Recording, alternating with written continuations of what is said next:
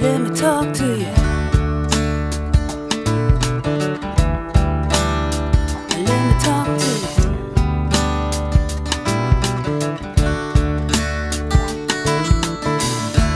Tell me now how it feels to have someone